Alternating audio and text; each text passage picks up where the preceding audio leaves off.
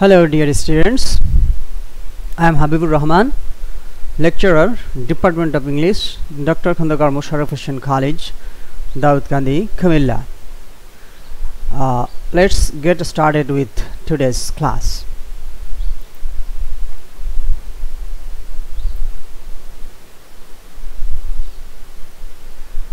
English second paper, solution of board question.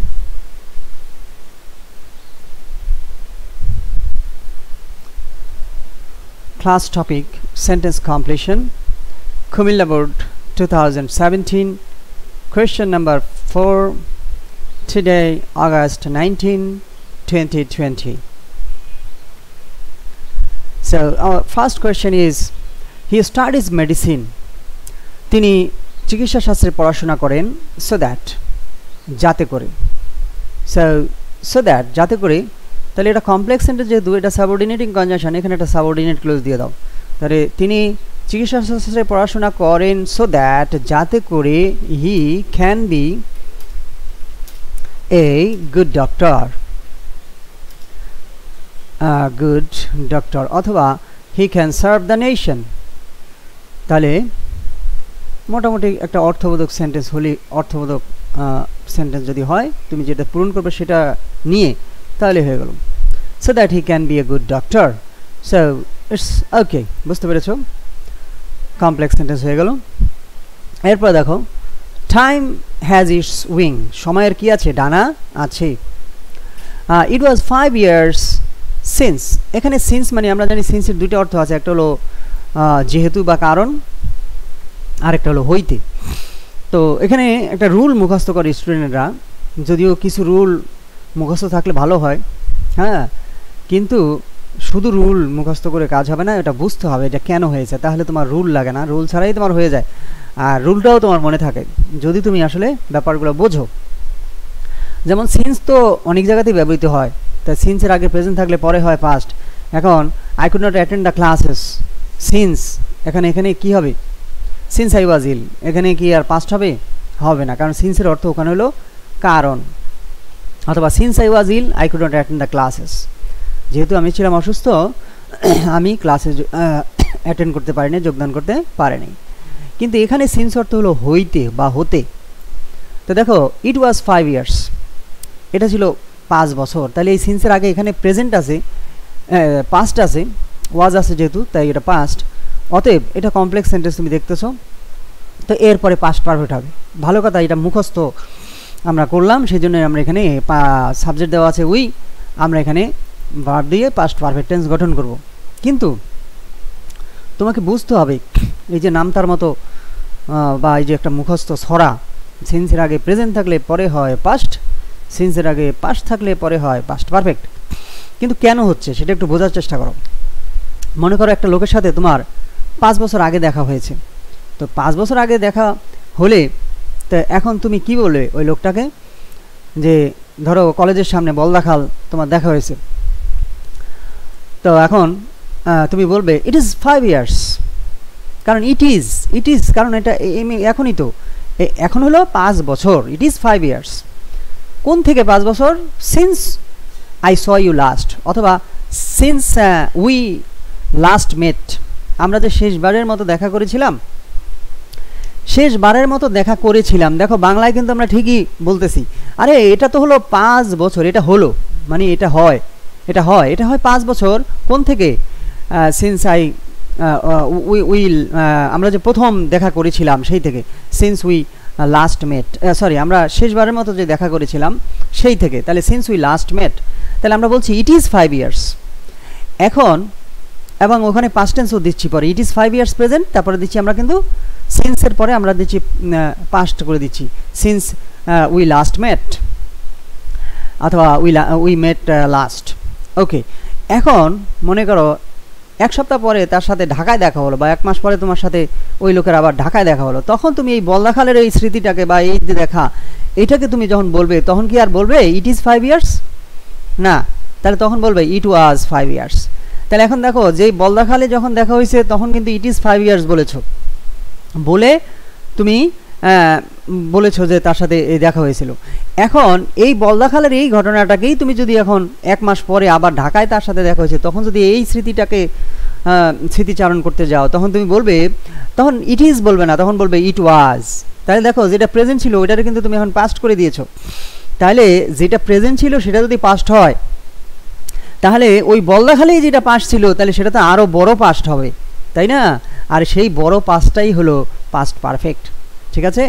Past perfect বোঝায় যে আরও আগে কাজটা হয়েছে। যে দুটা কাজের মধ্যে হ্যাঁ দুইটা কাজ যদি হয়, তার মধ্যে কোন কাজটা আগে হয়েছে, ওইটাই পাস্ট পারফেক্ট টেন্স তাহলে এখানে দেখো, এই যে it is it is five years হ্যাঁ ইট ইজ ফাইভ ইয়ার্স তাহলে এই যে পাস্ট ইন্ডিফিনিট টেন্স বা পাস্ট টেন্স যে কোনো ফর্মেই থাক না কেন পাস্ট যে কোনো ফর্মেই থাকুক, তোমার পরে পাস্ট পারফেক্ট টেন্স হবে। কেন হবে? কারণ এইটাই যখন এটা যখন প্রেজেন্ট ছিল, তখনই এটা পাস্ট হয়েছিল। কারণ আমরা কেন? কারণ এটা অতীত, অতীতের ঘটনা। সিন্সের পরে যে ঘটনাটা আসে, সেটা অতীতের ঘটনা। সো এটা এটা যখন ইজ ছিল, তখনই এটা পাস্ট ছিল। আর এখন যদি ইজের থেকে যখন ওয়াজ হয়ে গেল হ্যাঁ তখন এটা তো আরও বড় পাস্ট টেন্স হবে। সুতরাং এই বড় পাস্ট টেন্সটা হলো পাস্ট পারফেক্ট টেন্স ওকে তাহলে আমরা এখানে লিখি ইট ওয়াজ তাহলে এই যে মুখস্থ করা, মুখস্থের সাথে বুঝলে ব্যাপারটা ভালো হয়। তো it was five years since we had last met এই যে লাস্ট হলো অ্যাডভার্ব অ্যাডভার্বের চরিত্র, ফুলের মতো পবিত্র। সো যে কোনো জায়গায় বসতে পারে। Will we met last since we met last তাহলে আমরা যে শেষবারের মতো যে সাক্ষাৎ করেছিলাম তাহলে কোন পর্যন্ত দেওয়া ছিল? আমার মনে হয় উই পর্যন্ত দেওয়া ছিল। তাহলে এতটুকুকে তুমি আন্ডারলাইন করে দেবে। সিন্স উই লাট মেট লাস্ট তো যাই হোক, তো এরপরে চলে আসো। The poor man knocked at the door গরিব লোকটির দরজায় কি করেছিল? নক করেছিল। He he came to me with a view to তা আমরা জানি উইথ এ ভিউ টু মানে হলো উদ্দেশ্যে। তাহলে with a view to is a prepositional phrase say we know preposition plus noun তাই না? তাহলে প্রিপোজিশন হোক আর প্রিপোজিশনাল ফ্রেজই হোক, তাহলে কি হবে? নাউন হবে। এখন সে আমার কাছে এসেছিল, কি জন্য এসেছিল? কিছু টাকা পাওয়ার উদ্দেশ্যে। হ্যাঁ তাহলে in order to get sorry with a view to তো with a view to prepositional phrase তাহলে নাউন দিতে হবে। এখন তো আমরা গেট দিতে পারব না। গেট তো বেস ফর্ম তাহলে আমরা নাউন করব। গেট তো ভার তো ভার থেকে নির্ধারিত নাউন আর আইএনজি যুক্ত। তাহলে এখানে গেটের কোনো নির্ধারিত নাউন নেই। তাই আইএনজি যুক্ত নাউন দেবো। With a view to getting some money. তাহলে এখন দেখো হি কেম টু মি সে আমার কাছে এসেছিল sorry with a view to হ্যাঁ গেটিং সাম মানি তাহলে এখন আমরা এখানে কেন আমরা গেটিং দিলাম? যে উইথ এ ভিউ টু পরে আইনজি যোগা আইনজি যোগা, এই যে এই কথাটা এই কথাটা তুমি মুখস্থ করলা। তো মুখস্থ না করে তুমি এইভাবে শিখো যে উইথ এ ভিউ টু অর্থ উদ্দেশ্যে। আর এর পাশে আছে in order to in order to মানেও কিন্তু উদ্দেশ্যে। তাহলে কিন্তু in order to is a is an infinitive phrase but with a view to is a prepositional phrase তা আমরা জানি প্রিপোজিশন প্লাস নাউন এই জন্য এখানে গেট না দিয়ে টু এর পরে বেজ ফর্ম না দিয়ে নাউন দিয়েছি। এই গেটিংটা এই গেটিংটা কিন্তু নাউন কেন নাউন করলাম? কারণ এর আগে যে ফ্রেজটা রয়েছে, সেটা হলো প্রিপোজিশনাল ফ্রেজ তো আমরা জানি প্রিপোজিশন প্লাস নাউন এখন কথা হলো, এখানে যদি এমনটি হতো যে ইন অর্ডার টু থাকতো, তাহলে আমরা লিখতাম in order in order to get some money ঠিক আছে? আচ্ছা অথবা যদি টু থাকতো, তাহলে ইন অর্ডার টু গেট অর্থ হলো পাওয়ার উদ্দেশ্যে। তাহলে ইন অর্ডার টুর পরে আমরা কিন্তু কি দিচ্ছি? গেটিং দিচ্ছি না। কারণ in order to is an infinitive phrase like to যেমন to get to get some money ঠিক আছে? ব্যাপারটা বুঝতে পেরেছ?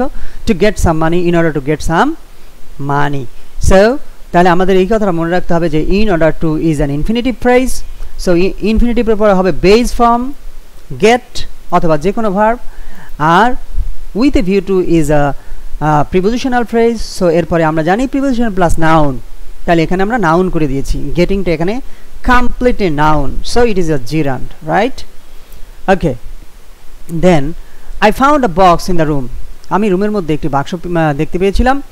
The box was too heavy বাক্সটি ছিল খুবই ভারী। এখন এখানে যদি the box was too heavy to lift মানে বাক্সটি ছিল খুবই ভারী। টু লিফট উত্তোলন করতে ভারী। মানে এত এত ভারী যে কেউই এটা উত্তোলন করতে পারে না। কিন্তু এখানে না, বাক্সটি হয়তো আমি উত্তোলন করতে পারি না, অন্যজন উত্তোলন করতে পারে। তাহলে এটা শুধু আমার জন্যই ছিল ভারী। তাহলে the box was too too heavy for me অথবা টু হ্যাভি ফর হিম কেন?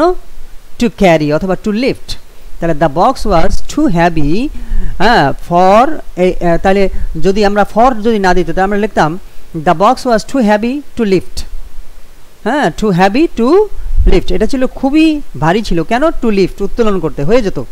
কিন্তু এখানে the box was too heavy for দেওয়া আছে। মানে এই বাক্সটি আমার জন্যই শুধু ভারী ছিল। অন্যজন হয়তো এটা হালকা পাবে এক হাতেও হয়তো উঠাইতে পারবে, বা হাতে উঠাইতে পারবে। ঠিক আছে? একজন যেটা দুই হাতে পারে না, সেটা আরেকজন এক আঙ্গুল দিয়েও পারে। তো সুতরাং এই জন্যই ফর কথাটা আসতেছে। তো ফর ফর কি? এখন এখানে মি দেবো। কেন মি দেবো? কারণ কন্ট্যাক্টে দেওয়া আছে আমি দেখতে পেয়েছিলাম। তাহলে আমার জন্যই কঠিন ছিল। সুতরাং এই প্রোনাউনের প্রোনাউন রেফারেন্সের মতো। তাহলে এখানে for me to lift okay তাহলে এখন আমরা এতটুকু কি করে দেব? আন্ডারলাইন করে দেব। সুতরাং এই হলো গিয়ে সিস্টেম তো বুঝতে পেরেছ?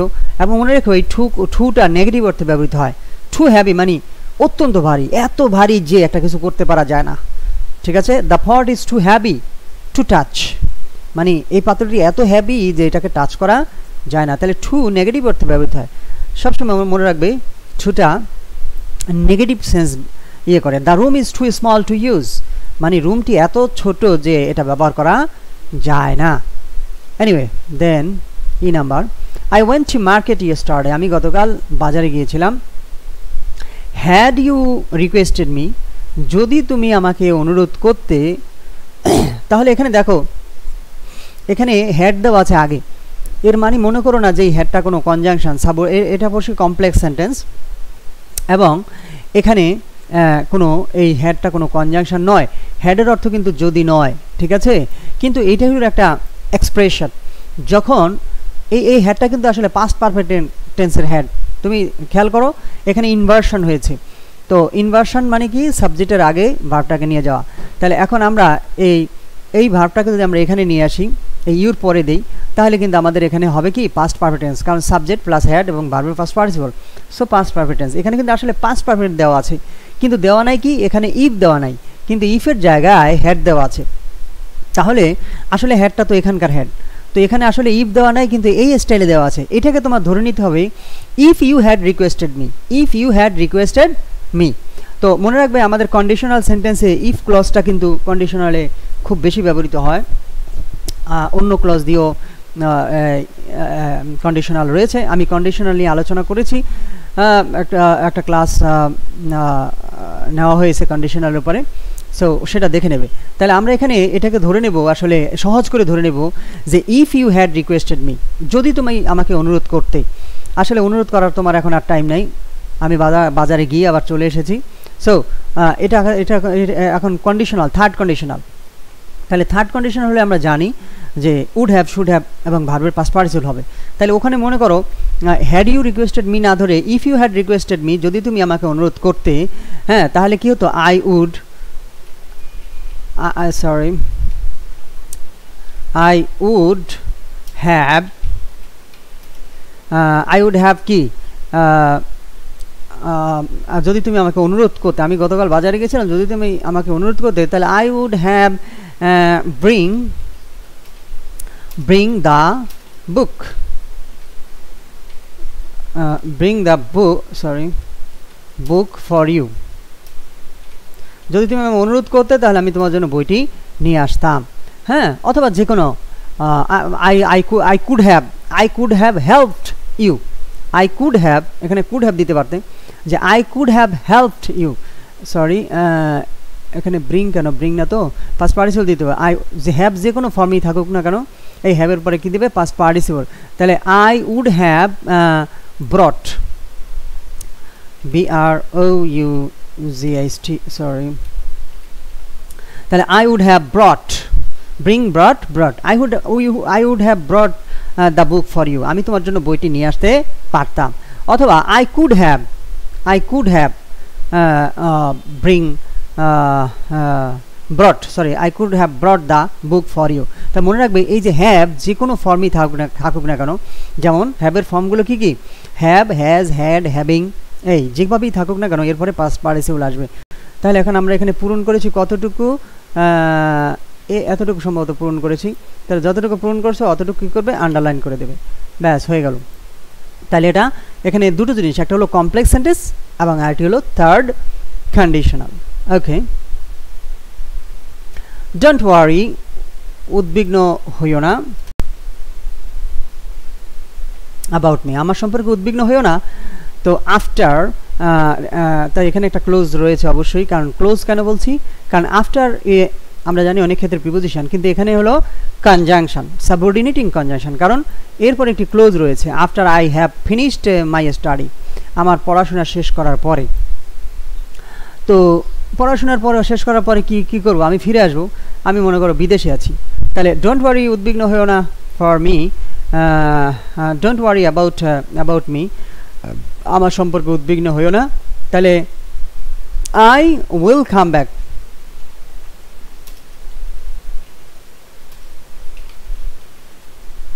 I will come back আমি ফিরে আসব after I had finished my study তাহলে এই যে এতটুকু এখান থেকে এতটুকু তুমি পূরণ করেছ এবং এই জন্য এটুকু আন্ডারলাইন করে দেবে। আর দেখো তোমার এটা হয়েছে কিনা। হয়েছে, কারণ এটা একটা কমপ্লেক্স সেন্টেন্স আগে প্রিন্সিপাল ক্লোজ দিয়েছি ক্লোজের মধ্যে সাবজেক্ট ভার্ব আছে। আই উইল কাম ব্যাক আমি ফিরে আসব। আফটার দেখো আফটার সাধারণত পাস্ট পারফেক্ট টেন্সে বসে। তো পাস্ট পারফেক্ট টেন্সে যখন বসবে, তখন আফটারের পরে পাস্ট পারফেক্ট দেই। হুম আর আগে থাকে পাস্ট ইন্ডিপেন্ডেন্ট টেন্স কিন্তু এটা কিন্তু সেই পাস্ট পারফেক্টের আফটার নয়। এটা কমপ্লেক্স সেন্টেন্স হ্যাঁ এখানে আফটারের পরে ক্লোজ রয়েছে পূর্ব ক্লোজ রয়েছে, কিন্তু এটা এখানে পাস্টের কোনো কিছু নয়। সো পাস্ট পারফেক্টের আমরা আফটারকে যেমন পাস্ট বিফোর আফটারকে যেমন আমরা পাস্ট পারফেক্টেন্সে দেখি, আসলে এটা সেটা নয়। সো বুঝতে পেরেছ যে আই উইল কাম ব্যাক আমি ফিরে আসব after I have finished my study আমি পড়ালেখা শেষ করেছি, এমন অবস্থা যখন হবে, তখন আমি কি করব? ফিরে আসব। So it's all right they are they are very hard working তারা হলো খুবই হার্ড ওয়ার্কিং হ্যাঁ? If the bank gives them loan এই যে, এই জাতীয় ওয়ার্ডগুলো লেখার ক্ষেত্রে একটু মনে রাখবে, এই যেখানে এই এখানে আমরা যদি স্পেস দিয়ে দিই হ্যাঁ তাতেও কোনো সমস্যা নেই। They are very hard working তারা কেমন? হার্ড ওয়ার্কিং এই যে কম্পাউন্ড ওয়ার্ডগুলো লেখার ক্ষেত্রে আমরা এভাবে আলাদা করে দিতে পারি, অথবা কি করতে পারি? এক করে দিতে পারি। হার্ড ওয়ার্কিং এইভাবে লিখলেও কোনো সমস্যা নেই। ইটস ওকে দেখো, এখানে কম্পিউটারে তোমার কোনো রং দেখাচ্ছে না। বিকজ ইটস অল রাইট যদি এখানে ভুল হতো, তাহলে দেখো, আরেকটা ডি দিয়ে দেই। দেখো, এখানে দেখো, নিচে দাগ থাকবে। হ্যাঁ দাগটা দিচ্ছে না। যাই হোক, ওই যে দাগ হচ্ছে। এখন কথা হলো, দাগ হোক আর না হোক, এখানে তিনটা নিয়ম মনে রাখবে। সেটা হলো কি? যে এই জাতীয় কম্পাউন্ড ওয়ার্ডগুলো লেখার ক্ষেত্রে আমরা একত্র করে দিতে পারি অথবা এভাবে হাইফেন দিয়ে আলাদা করে দিতে পারি অথবা সম্পূর্ণরূপে এভাবে আলাদা করে দিতে পারি। সো এই তিনভাবে এগুলো লেখা যায়। সুতরাং কখনো কনফিউশনে পড়ানোর কোনো দরকার নাই। এখন আসো। If the they are very hard working তারা হলো খুবই পরিশ্রমী। If the bank gives them them loans যদি ব্যাঙ্ক তাদেরকে লোন দেয় অন ইজি টার্মস সহজ শর্তে যদি ব্যাংক যদি তাদেরকে লোন দেয় হ্যাঁ দেই সাবজেক্ট দেওয়া আছে। এখন দেখো ইফ ক্লোজ সেট কন্ডিশনাল আমরা জানি কন্ডিশনাল তিন প্রকারের, এই কন্ডিশনাল নিয়ে যে ক্লাস আছে সেটা দেখবে। তাহলে এখন if the bank gives them loan তাহলে ইফ প্লাস প্রেজেন্ট আছে, তাহলে এখানে ফিউচার হবে। যদি ব্যাংক তাদেরকে লোন দেয়, তাহলে একে তো এইটা একদিকে হলো এটা কমপ্লেক্স সেন্টেন্স সাবঅর্ডিনেট ক্লোজ দেওয়া আছে এবং সাবঅর্ডিনেট ক্লোজ আগে যাওয়ার কারণে এখানে কি হয়েছে? কমা হয়েছে। এখানে কমাটা কেন হয়েছে? সাবঅর্ডিনেট ক্লোজটা আগে যাওয়ার কারণে। যদি এখানে যদি এইভাবে হতো দে দে দিয়ে যদি যে ক্লোজটা সেটা আগে দেওয়া থাকতো ইফ ক্লোজটা পরে দেওয়া থাকতো, তাহলে কমাটা হতো না। সো পাংচুয়েশনের এই ব্যাপারটাও খেয়াল রাখবে। হ্যাঁ if the bank gives them loans on easy terms যদি ব্যাঙ্ক তাদেরকে সহজ শর্তের লোন দেয়, তাহলে কি হবে? সহজ শর্তে যদি তাদেরকে লোন দেওয়া হয়, তারা যেহেতু হার্ডওয়ার্কিং তাহলে they can prosper in life তারা জীবনে উন্নতি লাভ করতে পারে অথবা দে ক্যান রিমুভ দে দে আচ্ছা ই প্লাস প্রেজেন্ট প্লাস ফিউচারটা আমরা ব্যবহার করি। আমরা ই প্লাস প্রেজেন্ট প্লাস প্রেজেন্টও ব্যবহার করতে পারি, কিন্তু তাদেরকে লোন দিলেই সাথে সাথে তো আর হয়ে যাবে না। তাহলে আমরা উইলটা ব্যবহার করি। দে উইল দে উইল কি বলব remove they will be able they will be able তারা সমর্থ হবে to remove their poverty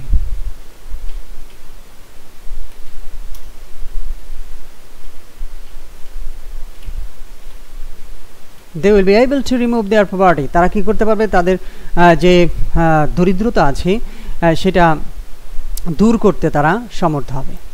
okay so এখানে আমরা তাহলে কি দিলাম? আমরা এখানে সাবজেক্ট দেওয়া আছে। আমরা শুধু ভার্ব এবং অন্যান্য অংশগুলো দিয়ে দিলাম। সো সম্পূর্ণ এটা ক্লোজ হয়ে গেল এবং কন্ডিশনালের শর্ত পূরণ হলো, আবার কমপ্লেক্স সেন্টেন্সটাও হয়ে গেল। তাহলে দে উইল বি এইবল তারা সমর্থ হবে কি করতে? টু রিমুভ দেয়ার পভার্টি তাদের দরিদ্রতা দূর করতে সমর্থ হবে। যে কোনোভাবেই অর্থ হলেই হলো। সুতরাং শুধু মুখস্থ নয়, সামান্য কিছু ইংরেজি শিখো। প্রতিদিন অন্তত পাঁচটা বাক্য শিখো। প্রতিদিন পাঁচটা বাক্য যদি শিখে কেউ, তিনটা বাক্য যদি শিখে তার জীবনে কিছু লাগে না। অথচ এই কলেজে দুই বছর পড়ালেখা করে এক কিছু ছাত্র আছে, যে জায়গাতে আছে সেই জায়গাতেই থাকে। আসলে এটার কারণ কারণ হলো তার সাহসের অভাব। তার মধ্যে সাহস নেই। নৈতিকতার অভাব। তার নিয়ত থাকে যে আমি পরীক্ষার সময় যে অতীতেও আরেকজনের দেখে লিখে আসছি হ্যাঁ ভবিষ্যতেও আমি কী করব? আরেকজনের দেখে লিখব। কিন্তু তাকে যে আল্লাহ সামর্থ্য দিয়েছে, তার তার যে শরীরে রক্ত মাংস দিয়েছে, তার মাথা যে ঘিলু দিয়েছে, সে সব কিছু করতে পারে সব কিছু বোঝে, শুধু পড়ালেখাটা বোঝে না। আসলে এটা হলো তার আননেসেসারি ভয়। শুধু এই ভয়টুকু আসলে ইয়ে করার জন্য যেটা দরকার, সেটা হলো কি নৈতিক সাহস। যে আমি জীবনে কারোর কোনো কিছু দেখব না। আমি হাবিবুর রহমান, জীবনে কোনো দিন কারোর কোনো কিছু দেখি নাই। হ্যাঁ পরীক্ষায় কাউকে কোনো একদিন কোনো একটা প্রশ্ন করি নাই। আমার পিছনে একটা ছাত্র হ্যাঁ এসএসসি পরীক্ষার সময় দেখে দেখে সব লিখেছে। আর এই পরের পরীক্ষাগুলোর কথা ইন্টারমিডিয়েট ডিগ্রি ওগুলোর কথা নাই নাই বললাম। শুধু একটা পরীক্ষার কথাই বলি এসএসসি পরীক্ষা যেটা জীবনের, আমাদের জেএসসি জেএসসি বা ওই যে পিইসি এগুলো ছিল না, তাহলে জীবনের শুরুতেই ছিল এসএসসি পরীক্ষা। সেই এসএসসি পরীক্ষায় একটা হিন্দু ছেলে আমার পিছনে বসে বসে আমার দেখে দেখে সব লিখেছে। হ্যাঁ কিন্তু লিখলে কি আমি, আমার তো কিছু বলার নাই। আমি আমার লেখা লিখেছি। তো ও আমাকে একটা বাংলা সেকেন্ড পেপারের একটা বানানের মধ্যে বলেছে যে ইতিহাস বেত্তা সম্ভবত। এই বেত্তা লিখতে আমি বফলা দিই নাই। ও বলছে যে বফলা হবে। তা আমি বললাম যে আমাকে বলতেছে যে, হাবিব ইতিহাস বেত্তা তো বফলা হবে। তখন আমি আমার লেখা বাদ দিয়ে আমি বললাম, শিওর? বলে যে, শিওর। তো শিওর, আমি বফলা দিয়েছি বাসায় গিয়ে দেখলাম যে, না, ওর কথা শুনে আমার এইটা ভুল হয়েছে। তাই এখন কথা হলো? আমি তো ওর কথা শুনতে চাইনি ও আমার দৃষ্টি আকর্ষণ করছে। ও বলছে যে হাবিব, তোর এটা ভুল হয়েছে। তা আসলে আমার এটা ভুল হয় নাই।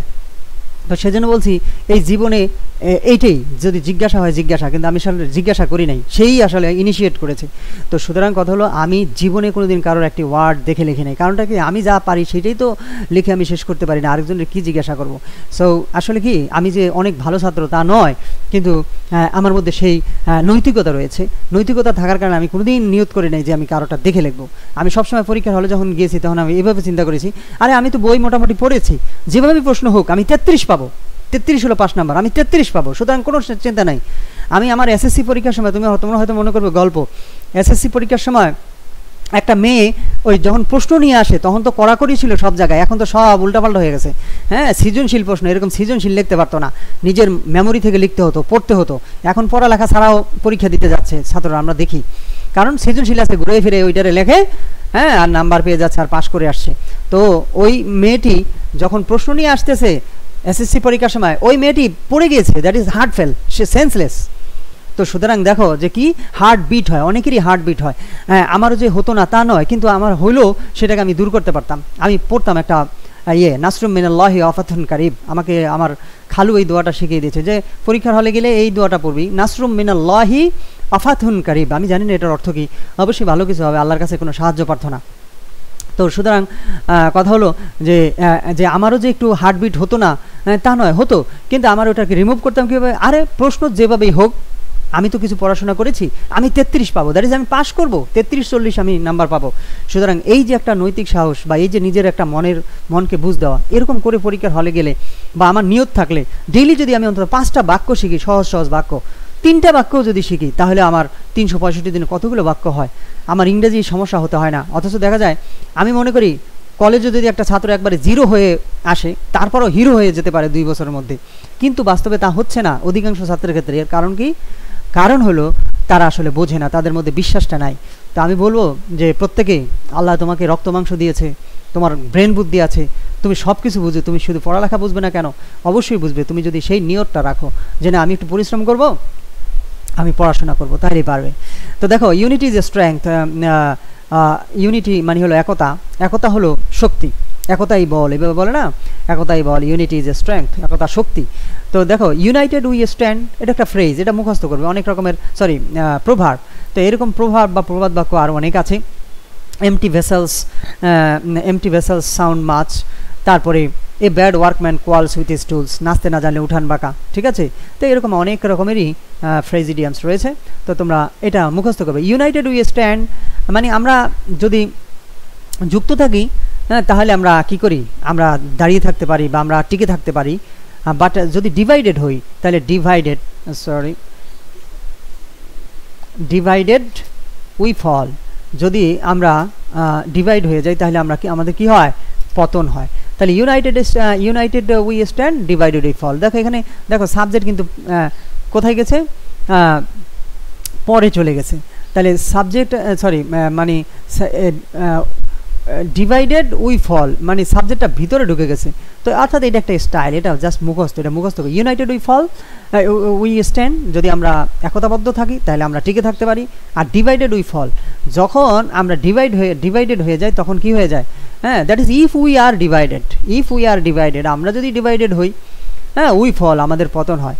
হ্যাঁ ইফ উই আর ইউনাইটেড যদি আমরা যুক্ত থাকি, এই যে এরকম আর কি কথাটা, কিন্তু এটা যেহেতু এটা একটা প্রবাদ, তাই এটা এরকমই হচ্ছে united we stand divided we fall একত্রবদ্ধভাবে থাকলে আমরা টিকে থাকতে পারি, আর ডিভাইডেড হলে আমাদের কি হয়? পতন হয়। অবশ্যই পুরো সেন্টেন্সটা উঠাবে, প্রত্যেকটা বাক্যে পুরো সেন্টেন্সটা উঠাবে তবে কনটেক্সট না দিলেও চলবে। এই কনটেক্সটটা না উঠালেও চলবে। কনটেক্সট উঠানের দরকার নাই। কনটেক্সট যদি দুই দুই সেন্টেন্সও থাকে, ওটা বাদ দিয়ে দেবে।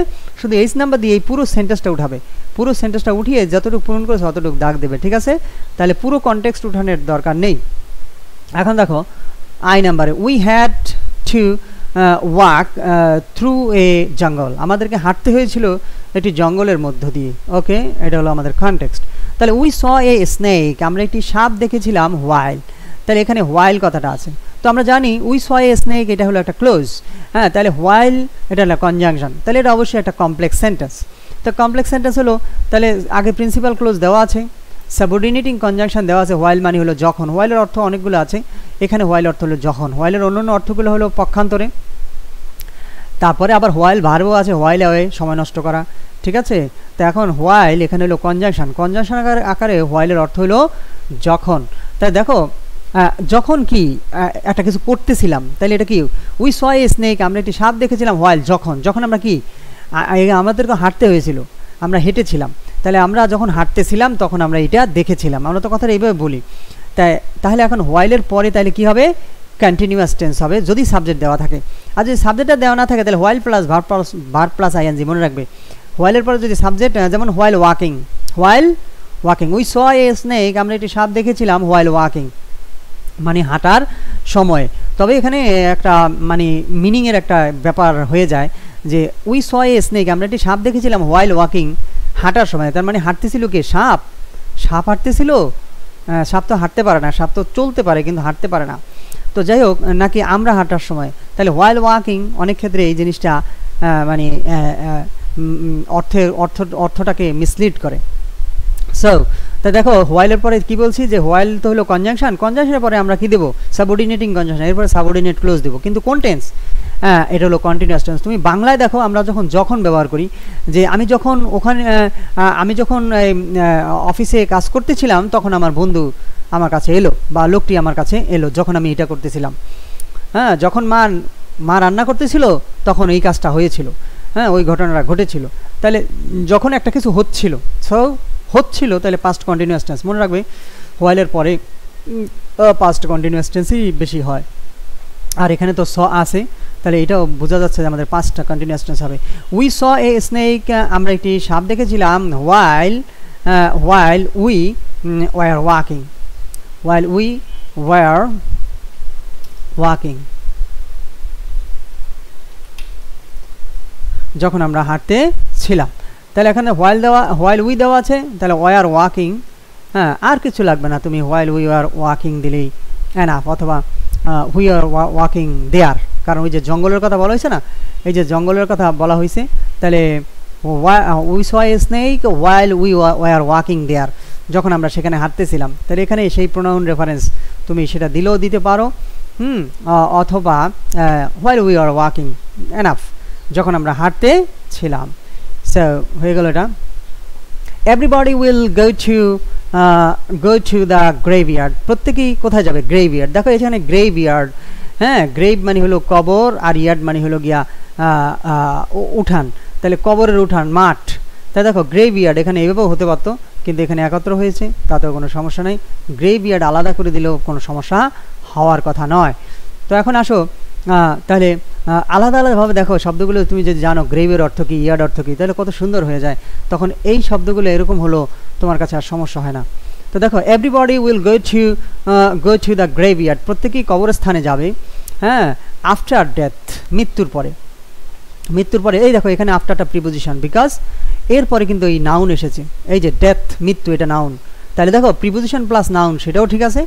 আবার দেখো এটা প্রিপোজিশন কারণ কারণটা হলো এরপরে কোনো কনজাংশন কোনো ইয়ে নেই। এটা প্রিপোজিশন কারণটা হলো এরপরে ক্লোজ নেই। সো দেখো, এই এই একই জায়গায় কিন্তু আমরা জিনিসগুলো দেখতে পেলাম। তাহলে everybody will go to graveyard after death প্রত্যেকেই মৃত্যুর পরে কবরস্থানে যাবে। এই গ্রেভিয়ার্ড ইজ এ প্লেস আমরা জানি এই প্লেস প্লাস হোয়ার হবে। প্লেস যে কোনো place we go to mosque আমরা মসজিদে যাই, তাহলে মস্কটা কি? Place where we say our prayer যেখানে আমরা নামাজ পড়ি। উই গো টু কলেজ আমরা কলেজে যাই। হোয়ার উই এই কলেজটা কি একটা জায়গা? তাহলে প্লেস প্লেসও থাকতে পারে, আবার প্লেসের নামও থাকতে পারে। ঠিক আছে? হ্যাঁ তো এখন এখানে দেখো, আমরা জানি place plus where person plus who আর যদি ব্যক্তি, বস্তু এগুলো যদি হয়, ইতর প্রাণী, ছোট শিশু সরি বস্তু ইতর প্রাণী, ছোট শিশু এগুলো যদি হয়, তাহলে হুইচ ঠিক আছে? দ্য চাইল্ড তারপর হুইচ তারপরে তোমার যদি অ্যানিমাল হয়, ঠিক আছে? ইতর প্রাণী যেগুলো হ্যাঁ সেগুলো যদি হয় তাহলে আমরা সেখানে হুইচ দেব। ওই ওই অ্যানিমাল প্লাস হুইচ আর প্লেস যদি হয় তাহলে হয়ার ব্যক্তি হলে হু যেমন I know Karim who is a doctor তাহলে এই যে হু হু এর পরে আমরা কি দিলাম? সরি করিমের পরে আমরা করিম পার্সন পার্সনের পরে আমরা কি দিলাম? হু তাহলে মনে রাখবে পার্সন হু প্লেস হয়ার আর ওই যে ছোট শিশু, ইতর প্রাণী এগুলা, এগুলো হলে হুইচ তাহলে এগুলো অর্থ জানো হু মানি যে যারা। হ্যাঁ আর হুইচ যেটি যেগুলো, আর হোয়ার মানি হলো যেখানে। আরেকটি আছে reason why reason why I know the reason why he is crying আমি কারণটি জানি, যে কারণে সে কাঁদতেছে। তাহলে হোয়াই মানে এখানে যে কারণে, এবং why is a conjunction here okay subordinating conjunction I know the reason আমি কারণটি জানি, এই যে রিজনের পরে why I know the reason why he why he is crying আমি কারণটি জানি, যে কারণে সে কি করছে, কাঁদতেছে। তো এখন দেখো, এখানে আমরা প্লেস প্লাস কি দেবো? হয়ার দেবো। তাহলে এই graveyard is a place একটি কবরস্থান হলো একটি জায়গা ওয়ার ওয়ার ডেড পিপল